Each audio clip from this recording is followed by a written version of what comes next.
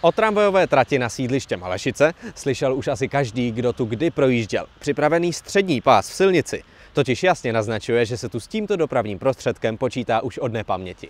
Tramvaj se odpojí od stávající tratě u Vinohradských hřbitovů a pak bude jednoduše kopírovat po Černickou ulici až na svou konečnou. Cestou je v plánu celých šest zastávek, včetně konečné. To je o dvě víc než současné autobusy. A v přepočtu na 2,5 km to vychází na vzdálenost mezi zastávkami 400 metrů. To ujde. Smyčka oproti starým plánům nebude na konci silnice, kde je dnes bazar, nýbrž vpravo, v místě čehosi jako parkoviště. Teoreticky se dříve počítalo i s prodloužením trati zpět k Černokostelecké, ale o tom se letošní dokument nezmiňuje.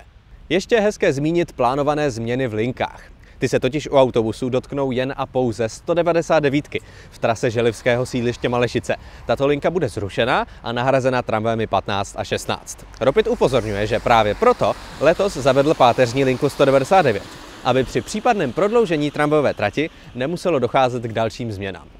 Tomu se za mě říká kvalitní perspektivní myšlení.